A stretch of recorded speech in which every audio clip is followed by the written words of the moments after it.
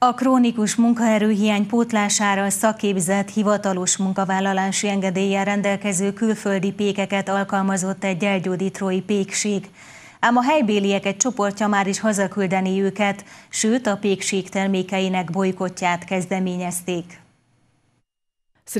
Ról érkeztek vendégmunkások a ditrói pékségbe, felbojdult a közösség ellenük, pedig egyrészt senkinek nem ártottak, másrészt tisztességesen és becsületesen elvégzik azt a munkát, amire a cég hónapok óta hiába keresett helyi munkaerőt.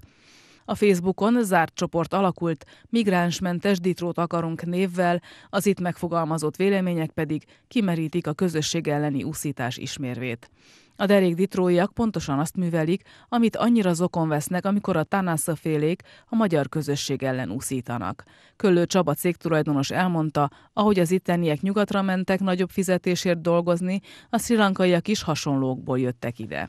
Sokan elvándoroltak, ezért az itteni dolgozó hölgyeknek a, munk, a, a munkájukat szeretnék ebben megkönnyíteni, hogy átvállalják a, a nehéz munkaerőt, és Isten igazából egy tisztességes, becsületes, tiszta, higiénikus emberek, akik a jobb megélhetőségét eljöttek. Míg a világhálón folyik az uszítás, a két férfi kenyérsütéssel van elfoglalva. Saját anyanyelvükön és angolul beszélnek csak, így a munkatársaikkal nem sokat kommunikálnak. Hamar befogadták őket, a munkatársak azt mondták, példásan vigyáznak a testi higiéniára, és jó munkát végeznek. Normális emberek, van mind a többiek, amilyenek tiszták, becsületesek, ennél többet nem tudnak meg. Olyanok, mint mi.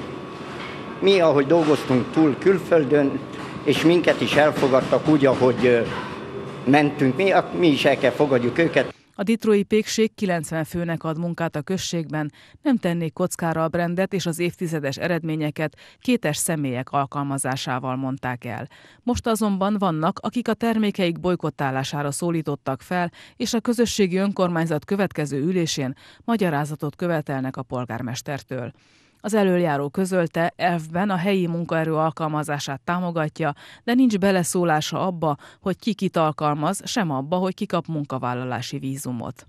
Szeretném természetesen úgy lecsengjen ez, hogy csendbe meg mindenki megértse, és tudjuk közelíteni az álláspontokat. Egyeztetni fogunk nyilván a céggel is, ha bár nincs, mint önkormányzat, nekünk nincs ráhatásunk arra, hogy ki kit alkalmaz. A hangulatkeltés miatt a két vendégmunkásnak néhány nap után már el kellett hagynia a Ditróban szerzett szállását, a közeli Gyergyószárhegyen vettek ki lakást. Úgy tűnik azonban, hogy ott sem maradhatnak sokáig.